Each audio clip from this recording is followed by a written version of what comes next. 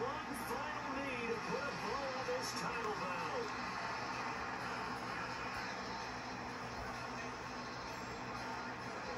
And they're singing in the Music City. The Tennessee Titans are your Super Bowl champions. And to the Super Bowl champions, they etch their name forever in NFL immortality. That's pretty phenomenal right. It actually gave me chills just to hear you say that because immortality forever and ever. When you look in the record books, you'll see this team, you'll see their picture, and your, your name will be a part of it. That's got to be an incredible feeling because it's been a long journey to get there, and now they get a chance to enjoy it.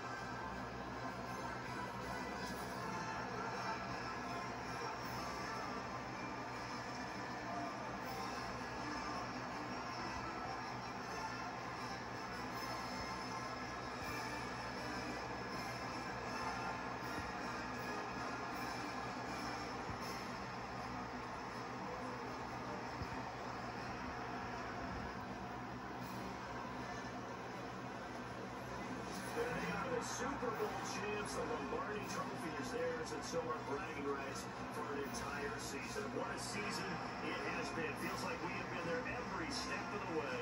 Our entire crew doing a wonderful job. Thanks to my broadcast partner, Charles Davis. From all those guys, I'm Brandon Gaudin signing off. We'll talk to you next season right here on EA Sports.